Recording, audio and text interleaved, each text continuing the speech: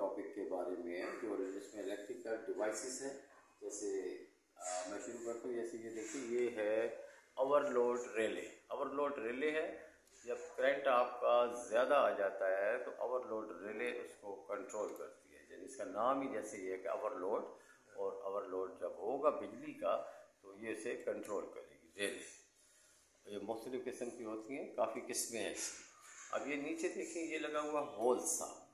Whole सा जो है ड्रिल के साथ हम इस्तेमाल करते हैं।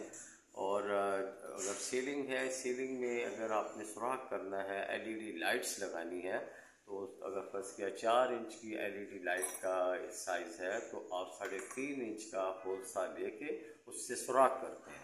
और फिर वो आप आराम से वो लग जाती है। नीचे जी सी डी कोयल है, ये बड़ी इंपॉर्टेंट चीज़ है। मेन पैनल में भी लगी होती है। इसके सेंटर से यहाँ पे आप अम्पेयर की तारें गुजारते हैं और ये दो टर्मिनल है। इसके साथ आप अम्पेयर मीटर लगाते हैं।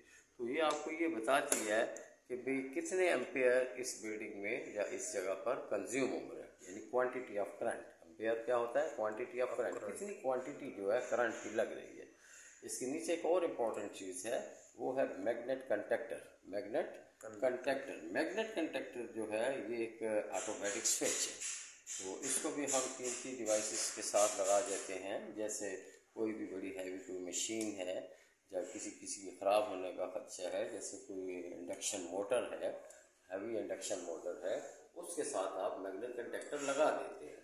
और ये नीचे देखें रिवर्स फॉरवर्ड का ये स्विच लगा हुआ है। है और ये रिवर्स और फॉरवर्ड का बटन है। तो अगर रिवर्स करना हूँ फॉरवर्ड करना हो कलेक्ट इसको हम कलेक्शन से कंट्रोल करते हैं। तो ये थी आज की अपना, आपके लिए हमने वीडियो बनाई है। एंड आप हमारे चैनल को सब्सक्राइब लाइक और कमेंट्स करें। फिर आपके लिए अच्छी अच्छी वीडियो हम बनाएँ थैंक यू वेरी मच